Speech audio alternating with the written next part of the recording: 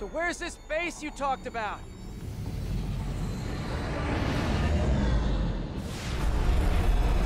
Whoa. Your toys are so much cooler than mine.